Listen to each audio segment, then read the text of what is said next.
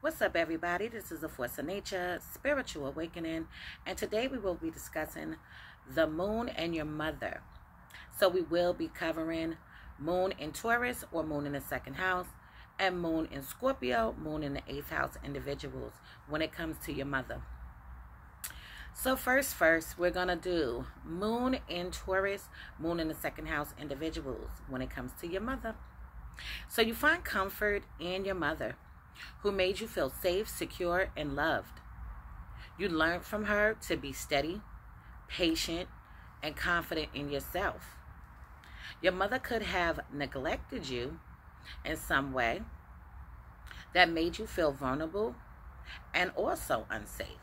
Okay, now you see how it does the little flip here where it's saying that you could have felt safe, you could have felt secure, you could have felt love. But your mother could have also neglected you in some kind of way, or made you feel unsafe. So these men and women have high expectations of their mothers' ability to be able to provide for them. Okay? Um, just in a practical way in day to day needs, day to day life. These people expect their mothers to be dependable and practical while making sure you have the necessities of life to remain comfortable. So life is meant to be savored, and your mother is meant to provide the practical means for you to savor it. So as you go through life, you ask her to provide you with a constant stream of things to make your life pleasurable and also satisfying. So if she is able to provide them easily, you see her as a sweet, reliable provider who is always there for you. If she isn't always to provide them, you see her as an overly practical person who is stubborn and too careful with money. However, because your nature is gentle and sensitive, yet persistent, you push her to her limits. You push her to her limits to make sure you can get what you want.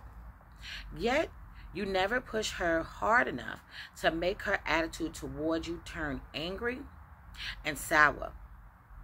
So you generally see her as being kind. Okay? Also, for the moon in Taurus, moon in the second house individuals, when your mother was pregnant with you, okay, it could have been a slow birth process. Typically, this can usually indicate it wasn't a bad birth okay?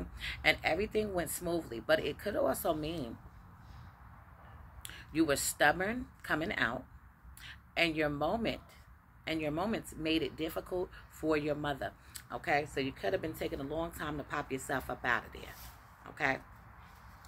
taking a long time to find your way out. Okay, so now we're moving on into the moon in Scorpio, moon in the eighth house individuals when it comes to their mothers. So if your mother from your mother. You gained emotional strength and intensity and a mysterious persona. But your mother could have neglected you or abandoned you in some type of way, which left you feeling unwanted. Okay, so we already know with this placement um, that it does bring that to the table. Um, another thing that this does bring to the table is that the mother can be extremely manipulative to the child. Okay, however, her influence on you makes you feel very paranoid of others and even yourself, making you have to be in control of your environment to feel secure. Okay? If your mother was in your life, okay, let's just say she was in your life or re enters in your life, you can experience manipulation from her. Okay? I mean, master manipulation, damn near, just from her. So your mother sparks more emotions in you than she actually realizes. You know she cares about you intensely, but she can be too close to you when you need space and too distant when you need closeness. So, from being overly concerned with things that you want to dis- disregard to becoming enmeshed in your life when you need emotional privacy. It often seems that she is out of tune with your emotional rhythm. But you're passionate and at the same time, private nature creates this very dynamic that ends up driving you crazy. Okay, so Moon and Scorpio people, Moon and the eighth house people, please don't drive yourself to insanity. Although you need her close for emotional reassurance and support, you also have a tremendous need for emotional privacy. So it's difficult for her to accurately okay um show this closeness and also that distance okay? So it's hard for her to, to um decipher the two on what she's actually doing. So in trying to figure you out she may probe you for feedback which usually makes you calm and silent okay now another thing with this placement your resistance can be frustrating and can spark an angry response from her, which makes you see her as aggressive and also controlling. Okay? However, it's most likely you who is trying to maintain control, and she is the one reacting to you. Okay, so please take a note of that. Okay, it may be the one, um, you may be the one that is egging shit on, okay? Or feel like you need to control shit or have some kind of sense of control. And she is responding, reacting to what you're doing. So, depending on your reactions to her, you see her as a powerful person in your life who is willing to do anything to protect you when you are willing to trust her with your deepest emotions. Okay, but we know that people with Moon and Scorpio, Moon in eighth house, they struggle with their emotions and trusting people. They're very cautious. However, when you aren't willing to open up and trust her, you see her as manipulative and also controlling. Okay?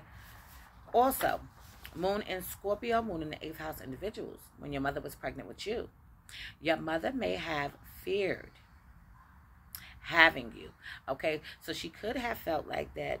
Um, she's pregnant and just having you. Okay, um, it's going to be a huge transformation. Okay, so she could have been a little nervous, a little scared. She could have also been very much angry.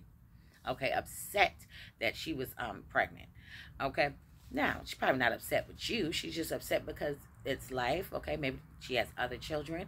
Okay. Maybe you're the firstborn. Okay. But even with a firstborn, okay, it changes your life drastically, right?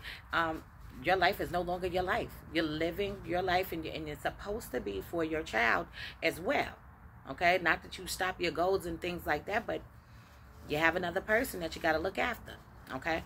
So I'm gonna leave this on this note for now, and in future videos to come, I will go more into depth into um, the moon and your mother when it comes to moon in Taurus, moon in the second house, moon in Scorpio, moon in the eighth house individuals. So, anybody want to get their chart analyzed, please hit me up. Anybody want to donate to the channel, please feel free. My phone number is 516-738-6042. And I do have the opposite polarity sale going on right now. It does end this particular sale because it is Pisces season. It ends March 19th. So, I encourage you guys to jump on a sale. Um, I did just post the sale. So it has all the information with the prices and everything like that on there. Okay. So this is a force of nature, spiritual awakening. Love is love. Peace and blessings to you all. And I will see you on the next one.